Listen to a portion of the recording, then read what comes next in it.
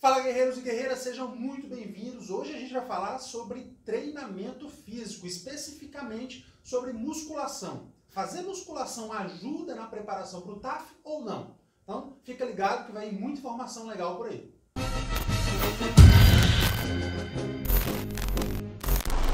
Então, você já se inscreveu no canal? Já deixou o seu like? Deixa aí, cara, não custa nada. Hoje a gente vai falar sobre um tema importante. Muita gente me pergunta, Tenente, musculação ajuda ou não na preparação para o TAF? Se você não sabe, o TAF, também chamado de EAF em alguns concursos, é o teste ou exame de aptidão física. Todo concurso militar tem TAF, tem EAF. Né? Então, você faz a prova teórica escrita, depois da prova escrita, normalmente você tem uma inspeção de saúde, onde você vai ter que apresentar vários exames para mostrar que você tem saúde, que você está tudo, tá tudo bem com você, para que você seja um militar. Né? E o terceiro, a terceira etapa, normalmente, né? o terceiro ponto ali que você passa, é exatamente um exame de aptidão física, ou teste de aptidão física, onde geralmente você tem que fazer corrida de 12 minutos, tá? Um dos exercícios é corrida de 12 minutos. Você tem que fazer flexões no chão, você tem que fazer barra, normalmente, tá? É, e você tem que fazer também abdominais. Alguns concursos militares cobram salto em distância, outros concursos, não são tantos, mas alguns concursos cobram natação, tá? Então, mas geralmente são esses que eu falei para você, né? Flexão, flexão na barra, barra fixa, abdominal, e corrida, beleza? Então, vamos lá. Musculação ajuda ou não?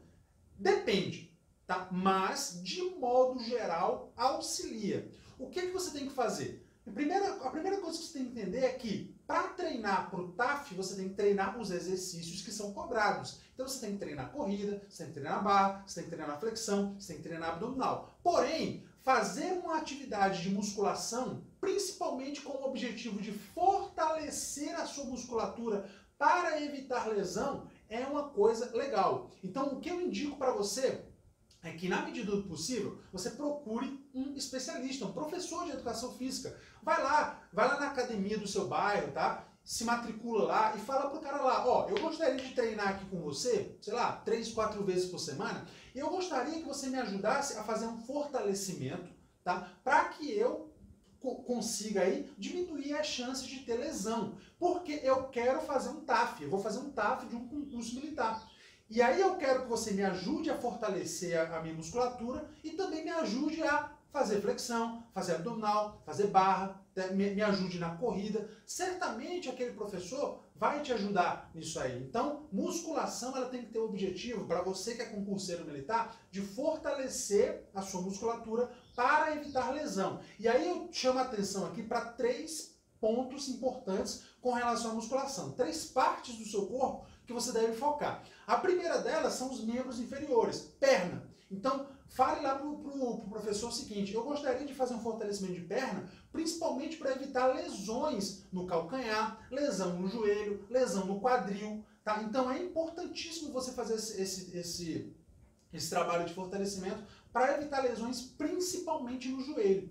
Tá? Principalmente no joelho. Segundo ponto que você tem que fortalecer: ombro. Muitos militares machucam o ombro, tá? Muitos mesmo, né? Eu já contei para vocês o caso de um amigo meu que estava fazendo um curso de guerra na selva comigo e na hora de tirar a mochila rápido, o ombro dele, ó, a mochila estava pesada, o ombro dele saiu do lugar. Aí saiu do lugar uma, duas, três vezes, o que acontece? Ele teve que ser desligado do curso, depois ele voltou, finalizou o curso no próximo ano, mas atrasou a vida dele aí durante um ano, tá? Então, ombro, como é que você fortalece o ombro? né? treinando o ombro, a musculatura do ombro, treinando a musculatura do peitoral, treinando a musculatura das costas, dos braços. Tá? Então, tudo isso o professor profissional de educação física vai te auxiliar. E o terceiro ponto também importantíssimo é lombar. Muitos militares lesionam a lombar, inclusive eu já lesionei seriamente a minha lombar, já tive uma contratura muito forte que me deixou de cama e depois de cadeira de rodas por bastante tempo. Então, esses três pontos são importantíssimos, tá? Perna, principalmente para evitar lesão no joelho, ombro, tá? Para que você não tenha problema de deslocamento, e lombar, tá? E quando eu falo de lombar, tá? Você é, é, é pense também, raciocine isso com abdominal, tá bom? Porque tão importante quanto você fortalecer a sua lombar é você fortalecer também a musculatura do seu abdômen. Fazendo isso e treinando também para o TAF, você vai estar num caminho correto aí para ter uma vida mais saudável, para passar no seu TAF e para realmente ser uma pessoa mais saudável. Lembrando que quanto mais cedo, quanto maior for a antecedência que você começar, maiores serão as suas chances de sucesso. Beleza? Então, espero ter respondido essa pergunta. Se você ficou com alguma dúvida, deixa aqui nos comentários e não esquece de deixar o seu like, de se inscrever no canal. Tudo bem? Um abraço, fica com Deus, fé na missão e até a próxima. Tchau, tchau.